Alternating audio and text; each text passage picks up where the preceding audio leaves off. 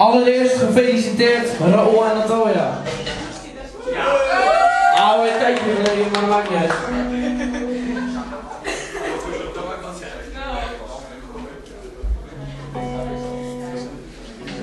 Ons volgende nummer is weer een eigen nummer en het heet Take Care.